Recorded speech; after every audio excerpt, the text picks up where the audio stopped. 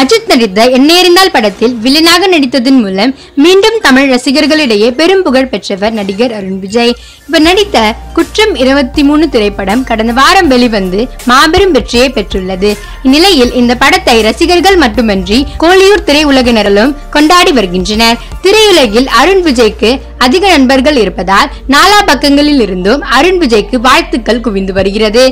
இந்நிலையில் super star Rajinikanth இன்று குற்றம் இருபத்தி மூணு படத்தை பார்த்து அருண் விஜய்க்கு போன் செய்து வாழ்த்துக்களையும் பாராட்டையும் தெரிவித்தார். இது குறித்து அருண் விஜய் தனது ட்விட்டரில் கூறியபோது குற்றம் இருபத்தி மூணு படம் சுவாரஸ்யமாக இருந்ததாக பாராட்டிய ரஜினிகாந்த் படக்குழுவினர்களுக்கும் இயக்குனர் அறிவழகனுக்கும் தனது பாராட்டுகளை தெரிவித்தார். போலீஸ் அதிகாரி கதாபாத்திரத்தை அருண் விஜய் சிறப்பாக செய்திருப்பதாக ரஜினிகாந்த் மகிழ்ச்சி தெரிவித்துள்ளார். ரஜினியின் இந்த பாராட்டால் ஆஸ்கர் விருது கிடைத்த சந்தோஷத்திற்கு இணையான சந்தோஷத்தை அருண் விஜய் பெற்றிருப்பதாக கூறப்படுகிறது.